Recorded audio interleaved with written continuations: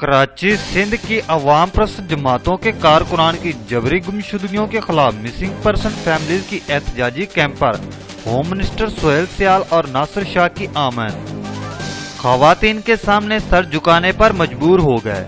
عورت نے سوہیل انور سیال کو کھری کھری سنا دی تفصیلات اس ویڈیو میں دیکھتے ہیں ممکنہ کوشش تیار پہنچنے جو असां बदर आहियूं सिंध असेम्बली मां हिकु हिकु ॾे एप्लीकेशन ॾिनी आहे जीअं सिंध खे एप्लीकेशन लिखी आहे पर तव्हां असांजे इन ॾींहं जो इंतज़ारु कयो त जेसिताईं असांजे न्याणियुनि जी तज़दील नथी थिए तेसतजे लाइ कोई स्टेप न खयो पीपल्स पार्टीअ जे गनी जे हथ में मूं जॾहिं एप्लीकेशन ॾिनी उन मूंखे जवाब में चयो त असांखे केरु ॿुधायो त सिंध मां माण्हू खंभल आहिनि تا بائیو تو سنند میں مو کگل ان مسلسل احتجاج ہڑتالوں کو شہر نہ ہے جتنے نہ کیا ہوج ہاں حالت بچی جو اب فوجی چان ری جا کمپلینٹ لگایا سی ادالتن میں کوئی جواب نہ پہ ملے حکومت پیپلس پارٹی کے ایوان میں ویٹی ہے وہ بالکل لاتارکی اظہار کئی असां सभई मिसिंग पर्सन जूं तजवीज़ थिए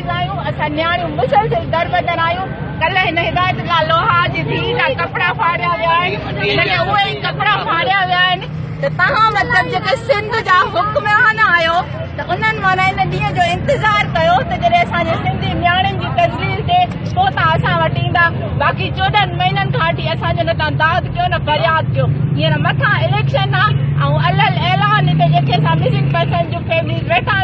सठूं था हिकु माण्हू ॾींदव असांजे इलाही मां हिकु वोट वठंदव इन लाइ असांजो तव्हांखे